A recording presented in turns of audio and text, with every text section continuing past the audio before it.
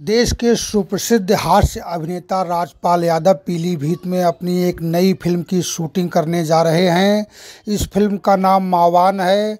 महर्षि वाल्मीकि पर आधारित इस फ़िल्म में उनका करेक्टर भी कुछ उनकी तर्ज पर ही है।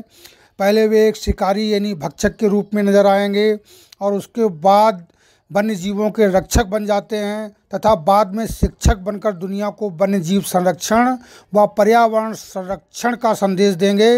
इसके ज़रिए वे ऑस्कर अवार्ड जीतना चाहते हैं। अपनी फ़िल्म के बारे में उनसे हमने बात की। तो चुनाव जैसे ही खत्म होगा तुरंत करेंगे शूटिंग। किस फ़िल्म की शूटिंग है? क्या है? थोड़ा बताइए। ये फ़िल्म एक मावान है और एक जंगल की कहानी है और एक शिकारी की कहानी है। तो क्योंकि चूका लेक से लेके और बोलते हैं ना कि पूरनपुर से लेके और पीलीभीत तक और आगे चले जाइए आप, खटीमा तक। और जंगल ही जंगल है और अपनी जो टाइगर रिज़र्व से लेके क्या बताएँ कि पीलीभीत जो है ना, वो बिल्कुल ओत प्रोत है जल जंगल ज़मीन वातावरण से। और लोग बोलते हैं ना कि यहाँ स्वर्ग नहीं है लेकिन अगर प्रकृति के रूप में बहुत जगह स्वर्ग पाए जाते हैं तो हमारे पीलीभीत ज़िले में भी प्रकृति के रूप में स्वर्ग ही कह सकते हैं। और ये स्वर्ग से कम भी नहीं। राजपाल जी जिस फ़िल्म की बात पिछली वर्ष हुई थी फ़िल्म सिटी बात चल रही थी आपने कहा था कि मैं यहाँ अपनी फ़िल्म बनाकर फ़िल्म सिटी का आगाज़ करूँगा। उसी मावान की हम लोग अब तैयारी कर रहे हैं क्या? हाँ तैयारी क्योंकि दो साल से आपको मालूम है कि कोरोना ने सब सिस्टम बिल्कुल अलग कर दिया था। अब जो है, अब कोरोना से भगवान पूरी दुनिया को मुक्ति दिलाए और धीरे धीरे अब ये हम लोगों की ज़िंदगी से दूर जाए ताकि कुछ कर्म करें।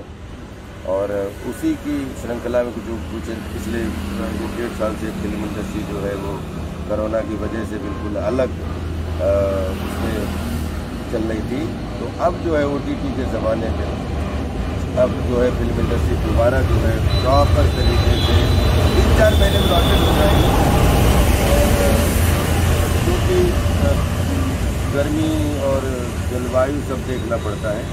तो मेरी इच्छा है कि मार्च अप्रैल में शूटिंग ये ख़त्म कर लूँ और मार्च अप्रैल में नहीं हो पाई तो सितंबर अक्टूबर में जाएगी। फिर सितंबर अक्टूबर में होगी। लगभग कितने दिन शूटिंग चलेगी पीलीभीत कम से कम दो महीना।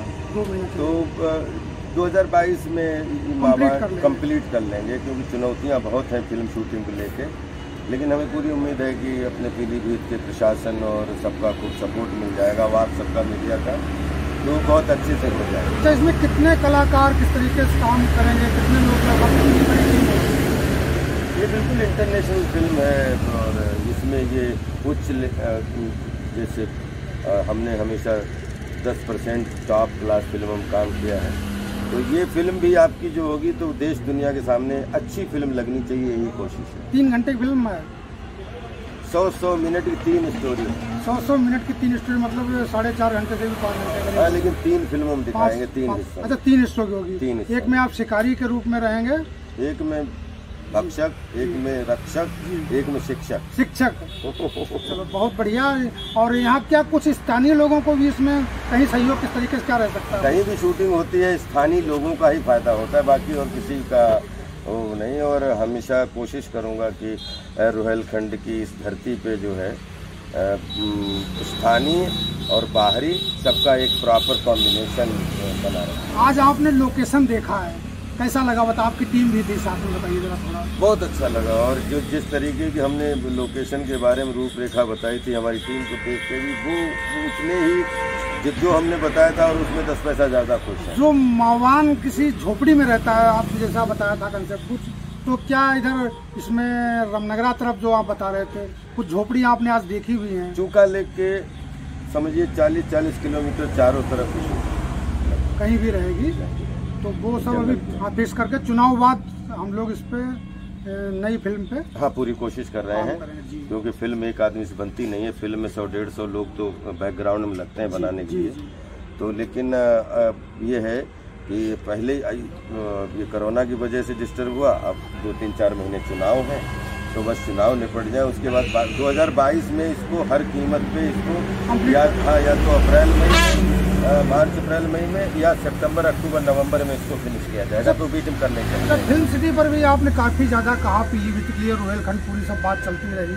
तो इस पे भी हम लोग क्या मतलब अपनी फ़िल्म बनाकर ही इसे वो शुरुआत करने जा रहे हैं क्या कहेंगे थोड़ा? आप मान के चलो कि फ़िल्म पीलीभीत अपने आप में नेचुरल फ़िल्म सिटी है, है। जो एक गोरे गाँव ईस्ट हमारी जो मदर फ़िल्म सिटी है उसकी छोटी बहन है। आप चिंता मत करो। और जितनी